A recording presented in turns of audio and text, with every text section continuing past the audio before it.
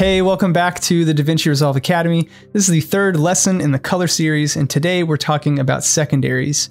So, unlike primary adjustments, which affect the entire frame globally, secondaries can make more isolated changes based on location or hue, saturation, luminance. So, it's an extremely powerful way to fix mistakes or enhance the focus. So, let's go ahead and jump inside Resolve and take a look at a couple examples.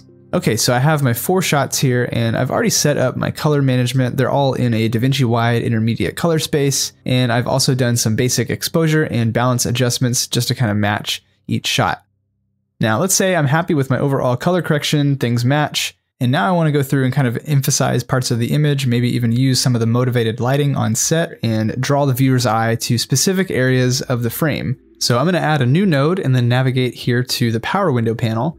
Now the power windows will basically limit where all of the corrections on the specific node will live. So you can actually have multiple corrections. You can adjust the gamma, you can adjust the saturation, and put all of that inside of a power window.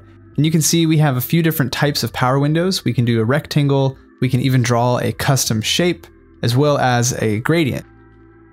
So what I want to do in this shot here, I want to kind of use the existing lighting to motivate some color separation and pull our subject out from the frame a little bit. So I'm just going to come down here and add a gradient wipe. And let's drop some of the blue and the green in our offset. You can see that gives us this nice warm glow. And then we can use this gradient to position it just slightly off camera. And then I can grab this little arrow to soften that out even more. And I'm going to go ahead and just label this node uh, window light. Now I kind of want to do the opposite coming from this side. Now rather than just simply adding a new node and doing another gradient from here, technically this new power window will be receiving the output from this power window as well. So I might want to use a parallel node instead. So you can hit Alt or Option P to create this parallel mixer node here. And a parallel node is a little different from a standard serial node. Both of these nodes are getting the same output coming from the previous node, and then they get mixed evenly using this parallel mixer node. So in this bottom node here, I'm going to add a second gradient, and this time we're going to drop some of the red and maybe a little bit of the green. You can see that's giving us this nice blue cool tone. And I'm going to position this one on the other side and soften it out a bit like that. So let's go ahead and relabel this one cool interior. And I'm going to add a third parallel node into this mixture down here. And with this third one, I'm going to create kind of a soft vignette around the entire scene here. So I'm going to go ahead and add an ellipse. Now, rather than increasing the gain and kind of brightening up inside of the power window, I'm going to actually go the opposite way and hit this invert button and drop some of the gain because typically it's better to kind of subtract using your power windows rather than add to something. It's not that you can't ever use power windows to make additive adjustments, it just usually mixes better when you take away from the image. Now, another little tip here about power windows, especially when you're creating a vignette like this, you might think that if you look at this kind of full screen, let's turn off our power window overlay, you might think that this looks okay, especially if you're looking at it full screen like this, but you never know where people are going to be viewing your content. They could be looking at this on a phone or a smaller screen. So what I usually like to do is kind of zoom out and emulate this really small screen because now when I do that, I can actually see that there is a pretty distinct power window. So from here, I'm just going to soften this until I can't really tell that there is a power window when I'm looking at this small display like this. But obviously if we turn that on and off, we can see that we are affecting the image quite a bit. It's just that it's not super over the top and obvious. And so if we take all three of these and just disable them, you can see we are in fact adding quite a bit of nice color separation and kind of bringing out our subject from the frame. And when we look at this far away, we really can't tell that we've done any kind of obvious adjustments using power windows. We could also use power windows to soften or blur certain areas of the frame, but let me quickly show you some of the limitations with doing this using the standard blur right here in the blur tab. So I'm just going to increase this blur quite a bit, and then let's go add a inverted ellipse and I'm going to stretch this out a little bit and just soften the edges. And notice what's happening to these intermediate areas. It kind of looks unrealistic because what's happening is it's mixing the sharp version of the footage with the blurred version of the footage just using a standard opacity. So there's actually a better way that we can achieve a more realistic blur fall off. So I'm going to go ahead and reset the standard blur here. And if I hold E and drag this node out of the way, this will disconnect it from the rest of the nodes. I'm just gonna leave it over here for now. Let's go ahead and add a new node and I'm gonna open up the effects panel and search for the tilt shift blur effect. And I'm gonna drop that onto this node here. Now with the tilt shift blur, you can see we get a much more realistic fall off on that blur. Instead of mixing using opacity, it actually blurs at a varying degree. We can move this around and even angle this a little bit and you can see we have this nice tilt shift effect. Now if we wanted to have an oval instead of just a linear wipe across the screen, we could change our map source to second input. And as you can see, this node has an additional input here. So I'm just gonna take another output from my source and feed it into our power window that we left hanging out over here. And then I'm gonna feed the output from that power window into the secondary green input here. And you can see it looks very weird right now because this power window isn't creating a standard matte, which is what the tilt shift is expecting. So we can create a node right before the power window and drop the contrast all the way to zero. And then I'm gonna set the pivot to 0.5 and that will give us a perfectly middle gray image coming into the power window. And then in the power window, I can just boost up the low end of the curve, which will effectively create a matte, which again, we're feeding into the tilt shift. And we have that same realism, but now we have the control of a power window. So we can have an oval, we can have a square if we wanted to, and maybe at this point I'd want to kind of soften the edges of my power window, maybe even go back into my tilt shift and just lower the blur amount a little bit. And just to compare this with the other method using the standard blur, you can see the tilt shift gives us a much more realistic and believable result. So power windows are great for restricting adjustments to a specific area in the frame, but the qualifier panel can restrict your adjustments based on a specific range of hue, saturation, and luminance. So I'm just going to add a new node just for this qualifier. And let's say I want to brighten up this actor's face a little bit. I could try a power window, but it might kind of affect parts of the background, which I obviously don't want. Now the nice thing about the power window is that you do get this overlay that shows you what part of the image you have selected, but the best way to see your selection with a qualifier is to enable the highlight, which is this button on the top left of the viewer. You can also press Shift H, and with the highlight on, you will be able to see what your grade looks like up until this selected node. That's why it looks like it's back to our regular log state because we've essentially disabled this last Rec 709 transform, and this may sometimes trip you up if you're ever wondering why your grade changes when you select different nodes. It's likely because you've accidentally enabled the highlight, but it is an extremely useful assistant for viewing a selection. So as I click different parts of the frame, this gray pattern can show me what parts of the image are going to be limited out of this node's adjustment.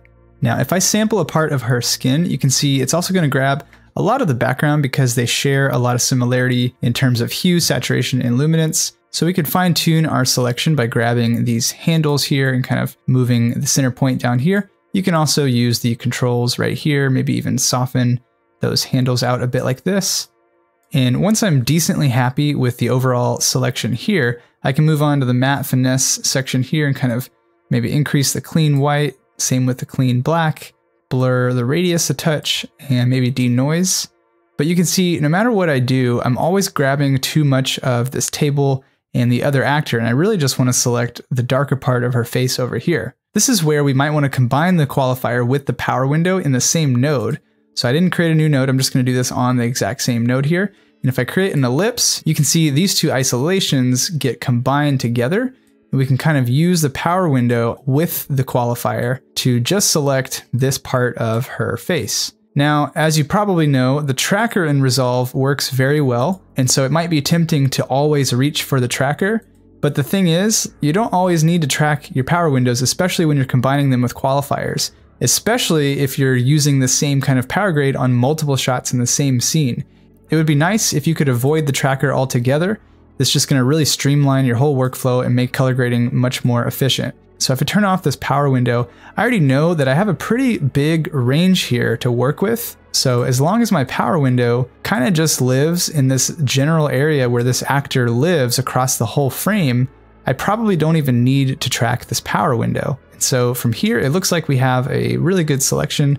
I can turn off my highlight mode and I'm gonna zoom in here and just be really, really gentle and just kind of increase my gamma just a little bit. Now, when I lift the gamma, it's also kind of reducing the contrast a little bit. So I might want to lower the lift a little, maybe even hop over to the log wheels and just decrease that shadow because I want to maintain the same level of contrast, but I also kind of want to boost that exposure across her face there.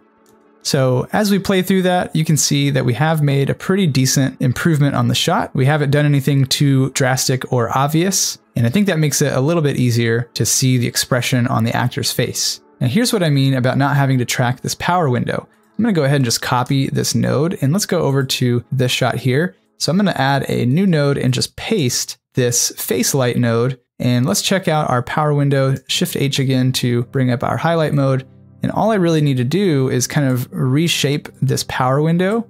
And you can see even though the shot is handheld, our power window doesn't really need to be tracked. And so if we had a bunch of these shots in the same scene, this could really save us a whole lot of time not having to track every single power window.